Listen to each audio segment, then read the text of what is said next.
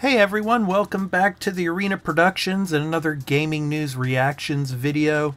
Today we're diving into some exciting news about the upcoming Assassin's Creed Shadows.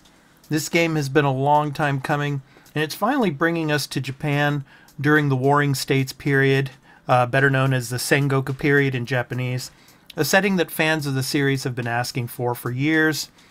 But what I want to focus on today is the development cycle of this game and what it means for both the developers and us, the players. And uh, just recently, there was an article uh, over at gamesindustry.biz where the lead producer discusses uh, four years being the right balance to make an Assassin's Creed game. And I will leave the link in the description below. So, Assassin's Creed Shadows, it's been in development for four years. And uh, in this interview, uh, the frame was the right balance to create a game of this scale. Now, I think it's important to point out that four years might actually be on the shorter end for AAA games in today's industry. We've seen other major titles take five or even more years to develop, and that's not necessarily a bad thing.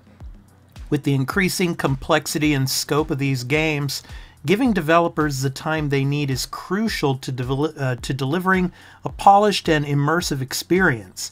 So, in the case of Assassin's Creed Shadows, uh, this extended development time isn't just about making a game that's fun to play, it's about crafting a world that feels authentic. Ubisoft has a reputation for paying close attention to historical details, and it seems like they're going all out to make sure the portrayal of feudal Japan is as accurate as possible. This kind of authenticity doesn't happen overnight, and it's something that I think will really pay off when we finally get to explore this era in the game.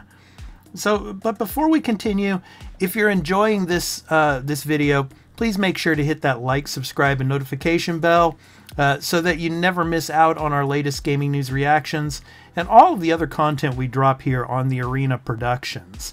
And so uh, the lead producer uh, mentioned in the interview that having more time allows for more iteration, which is something you can't just you just can't rush. You can add more people to a project to get it done faster, but that doesn't replace the time needed to test, give feedback, and refine the game. So I completely agree with this approach. The more time developers have to iterate, the better the final product will be.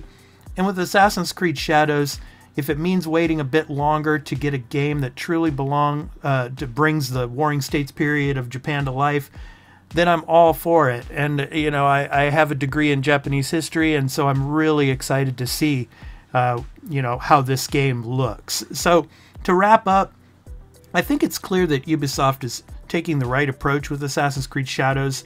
Four years might seem like a long time, but when it comes to delivering a game that not only plays well, but also immerses you in a beautifully crafted historical setting, it's time well spent. So I'm excited to see what they've done with this setting and how the game will perform when it releases this November.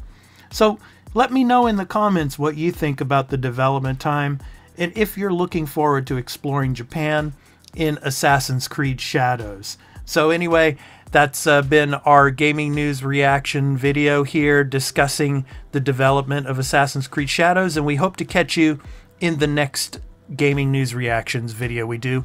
And uh, be sure to check out episode 181 of the Arena Multi Platform Gaming News Podcast, where this last week we went over a preview of Gamescom that's coming up really soon. So we're really excited for that as well.